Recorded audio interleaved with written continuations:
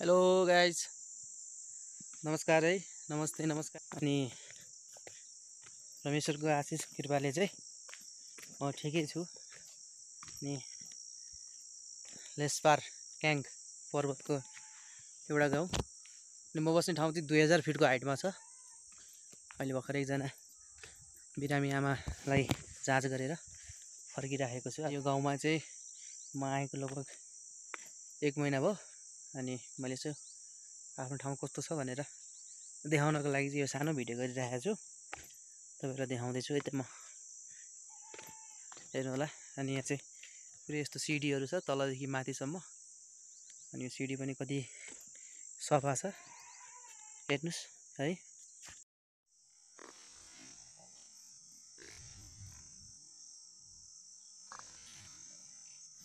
मकै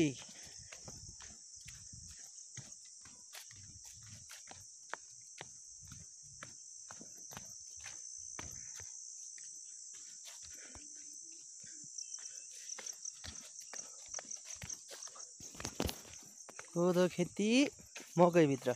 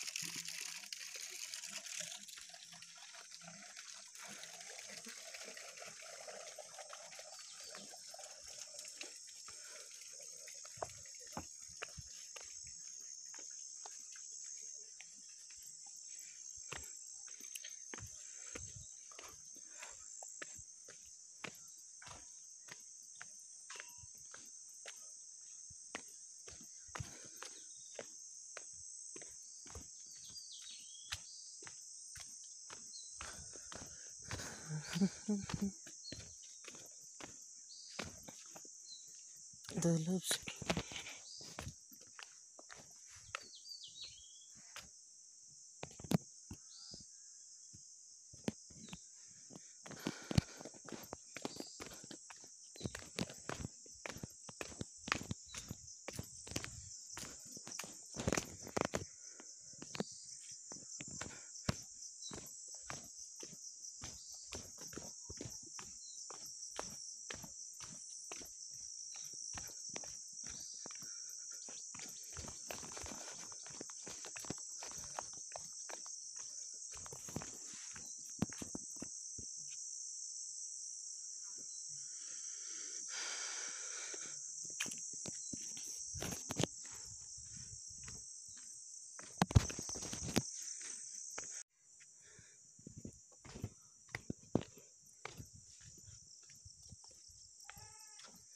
देख्न सक्नुहुन्छ।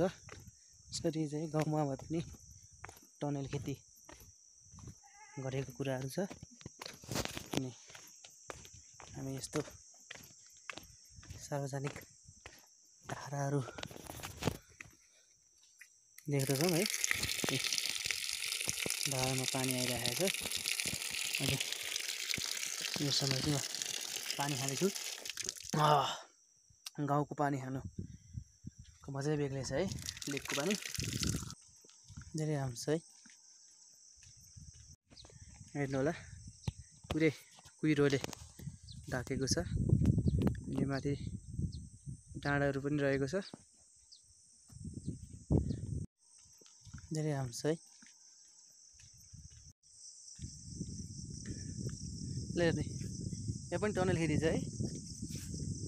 गाउँ ठाउँमा टनल खेती छ जस अहिले ग्रामीण क्षेत्रमा पनि आधुनिक कृषि प्रणाली हामी देख्न सक्छौँ यो गाउँमा। अनि यहाँनिर पनि अहिले हाते ट्र्याक्टर मिनी टेलरले जोत्ने प्रविधि रहेको छ। अनि तपाईँ देख्न सक्नुहुन्छ यो यो बोटहरू सबै लाली छ है अहिले सिजन छैन। नत्र यतिखेर लाली गुराँस ढकमक्क हुन्थ्यो है। लाली गुराँस ढकमक्क हुन्थ्यो। हेर्नुहोस् आज मौसम साँच्चै नै धेरै नै राम्रो मौसम छ है। आकाश खुलेको। है त ल हुन्छ। आजलाई यति गरौँ होला। आउने दिनमा फेरि पनि भेटौँला है। हुन्छ आफ्नो स्वास्थ्यको ख्याल राख्नुहोस् राम्रोसँग बस्नुहोस्। भन्दै म बिदा हुन्छु। हस्त नमस्कार बाई बाई